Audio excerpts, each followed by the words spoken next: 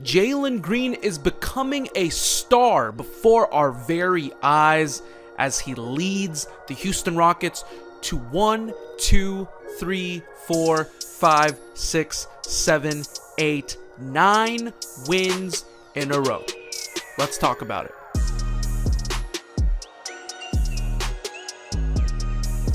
What is going on, everyone? Welcome to another edition of Summit State of Mind, presented to you by the Apollo Podcast Network and powered by Big City Wings. On today's show, we are going to discuss Jalen Green's current run that has him as one of the best players in the NBA statistically right now, the Rockets' current nine game win streak, and of course, we're going to discuss the tough stretch ahead for these Rockets as the closing parts of the season begins to loom.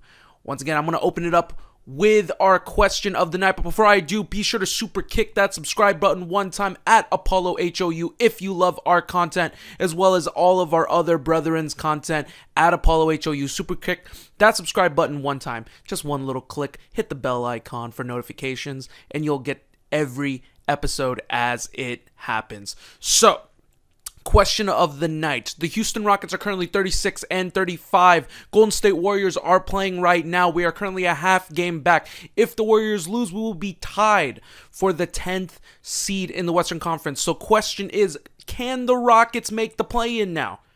There are 11 games remaining. Can these Rockets make the play in? I want your comment right now. Drop it right here on our YouTube channel. Let us know below this video. Can the Rockets make the play in. Ladies and gentlemen, I cannot believe we are in the month of March, the late month of March. We're about to turn the calendar over to April, and we are discussing the Houston Rockets currently on a nine game win streak, number one, over 500, number two. Another star seems to have been born, number three. And number four, we are literally at the cup of play in basketball. Ladies and gentlemen, I have covered this team for over three years now as media, as a member of the community, as a fan. Covered this team for three years. I've covered this team at the tail end of the Harden era with Harden and Westbrook and then turning the page over now towards this team rebuilding and finding their way back to prominence through the draft. And this year, two players have stood out amongst everybody else. They're two players from the 2021 draft class. That's Alperen Sengun, that's Jalen Green. These two players alone have found a way to make this team, Alperen Sengun, before he went down, helping this team get to where they need to go. Jalen Green now upping the ante, finally finding where he needs to go to get this team where they need to be. Back to respectability, back to prominence. Let's talk about the latter, obviously. The player that is playing right now in Jalen Green. I said it in the beginning of the episode. A star is beginning to shine. A star is born in Jalen Green. You got a prime example of that last night. If you paid attention to the Portland game, the Houston Rockets were riding an eight game win streak going into win number nine. I had a feeling this game was going to be tough. Not because we were missing Jabari, but because this. Uh, it's just it it just it, this is what the Rockets have been doing the past several years anytime it looks like they're starting to do well and get some type of momentum, they'll go into a game like this and then crumble and then ultimately lose the you know, ultimately lose all this momentum that you have had. There was one player that made sure that we did not get there. We were down 5 going into the end of the first half. Beginning the second half down 5. There was one player that did not allow that lead to stay put. That we were gonna roar back and ultimately win the game by 18, 110 and 92. His name is Jalen Green. He went on one run in particular. This is why I cre- I create the Stars Born mantra. A star a, and a star is a loose term. I understand that. It's a term when you think of stars, you think LeBron James, you think Steph Curry. Do I think he's in that category? No, I don't think he's in that category yet. He's playing for this month, and I want to drop his stats in a minute. He's been playing insanely this month, but of course, to the level of a Steph Curry and LeBron James currently, I mean, of course not. But right now, right now, statistically, he is playing like a star. And yeah, you can put the argument going the other way. Oh, it's Portland. Oh, it's these other teams that haven't been good. The Rockets haven't played any good teams. Well, duh, the Rockets were eight games under 500 at 27 and 35. And now they're back above 500. And they're not beating sleeper teams. They just beat a Cle- they beat a Cleveland team a couple a couple of games ago that is firmly in the fourth seed right now, third, fourth, fifth seed in the Eastern Conference. So that you know brings brings us. Let's go back to it now with Jalen Green. He had a moment in the game.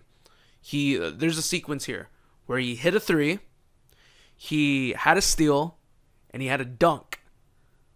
That is all in one sequence in the matter of I would say from when the three got hit 15 20 seconds I mean, that is momentum shifting. We were down four at that point.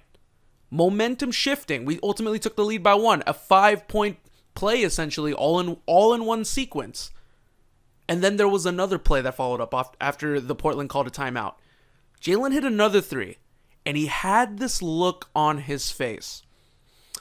I know a lot, and I may get a lot of flack for it, and I apologize if I if I disrespect anybody at all. At least for that moment, and the way he's been playing currently, there's been a look in his eye.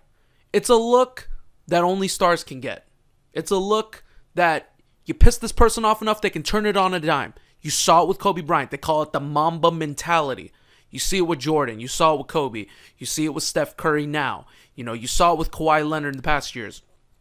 You see it with these players that are great. And Jalen had this look last night that made you go, oh, hmm, that's interesting. There's something, there's something there. And he, you, he got tweaked enough to where he was able to turn on, where he was not going to let this team lose. He even said in an interview, I was not gonna let this Rockets team lose.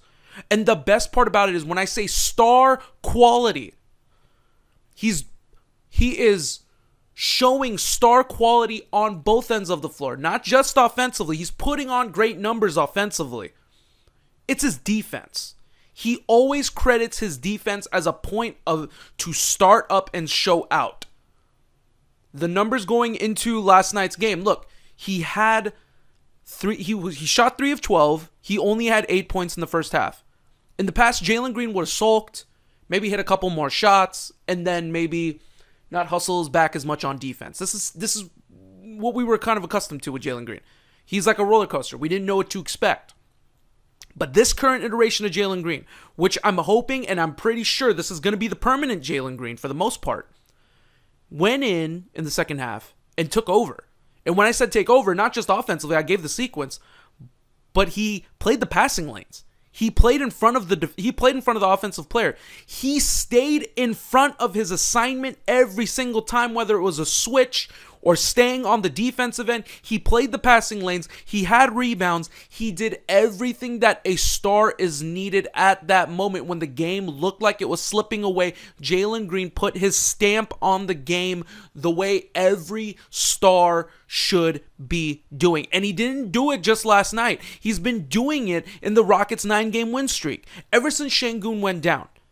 We knew the second Sengun went down, if the Rockets were going to have a prayer at this play in, if they wanted a chance, Jalen Green had to, absolutely had to show his merit now and why he was the number two overall pick.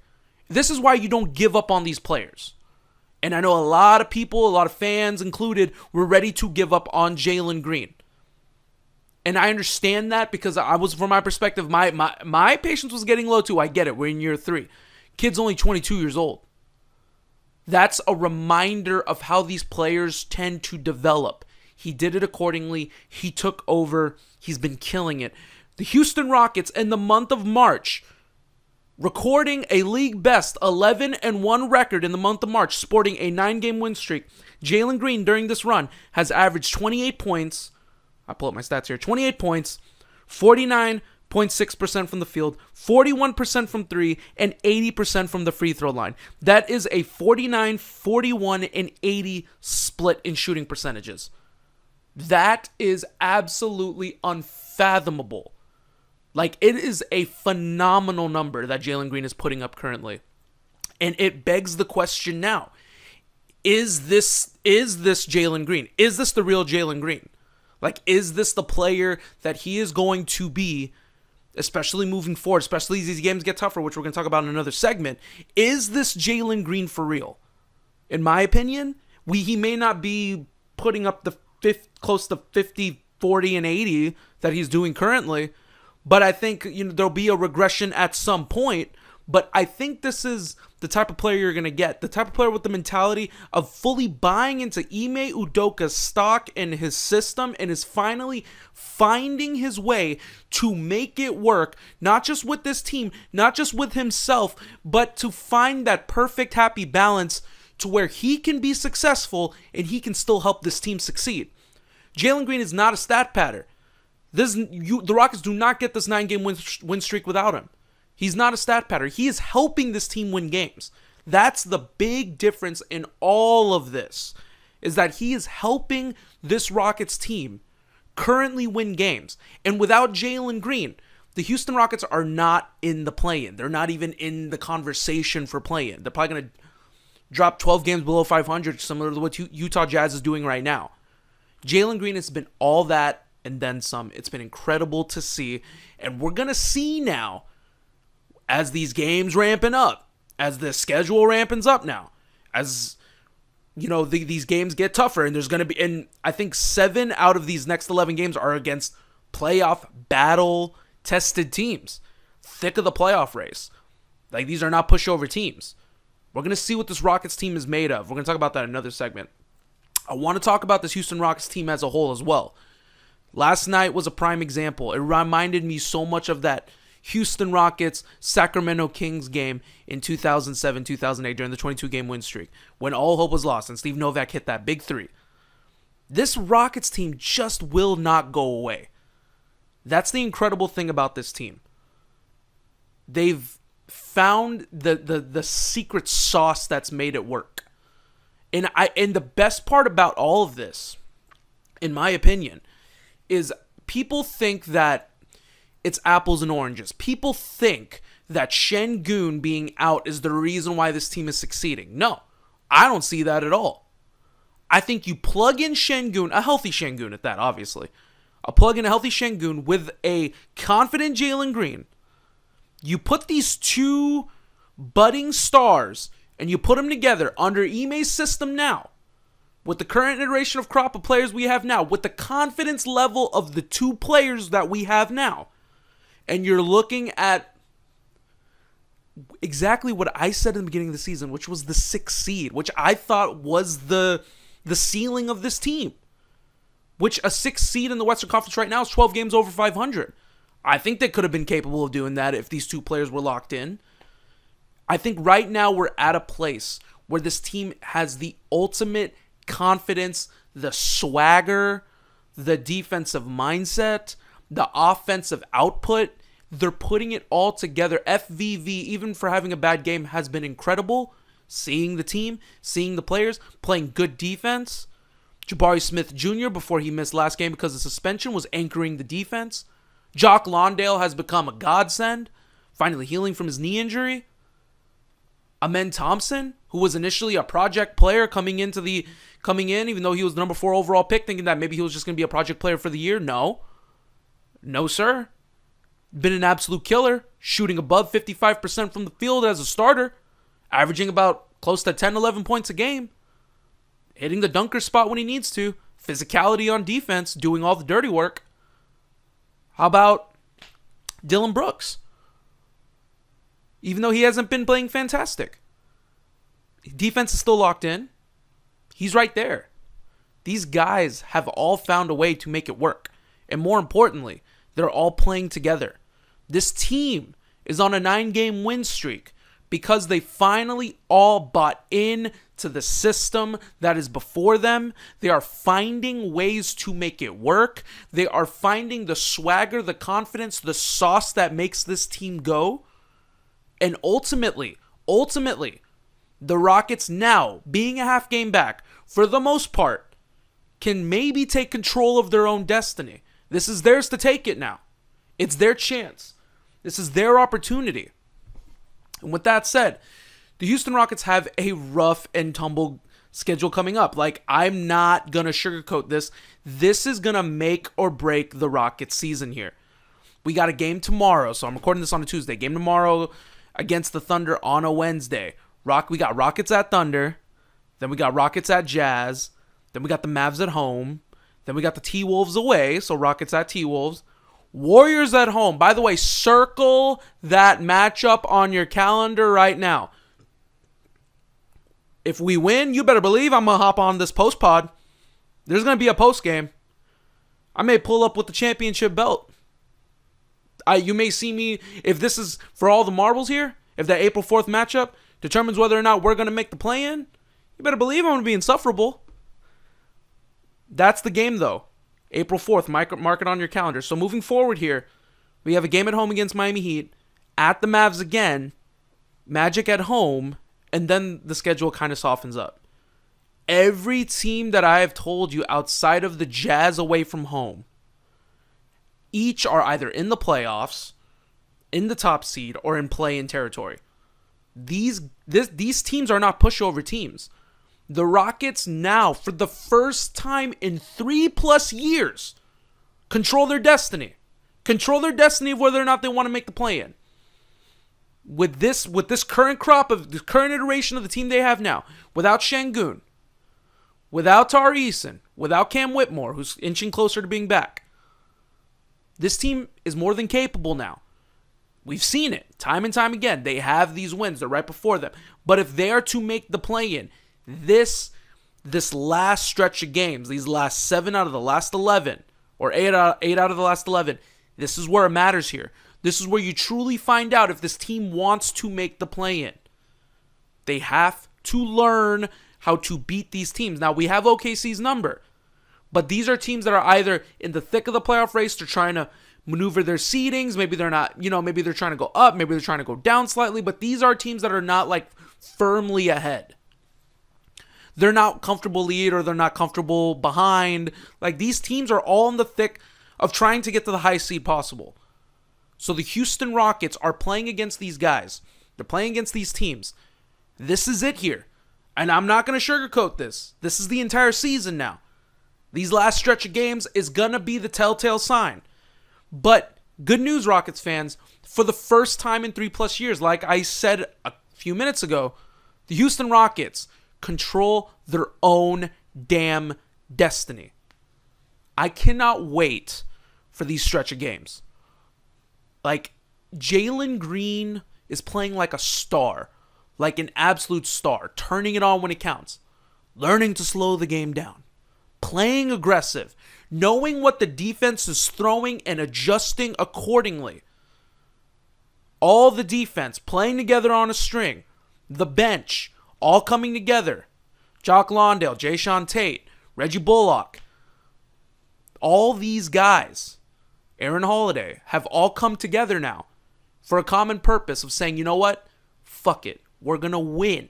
We are going to continue to win because this is the team that we are, and we're better than what the record says. I freaking love it.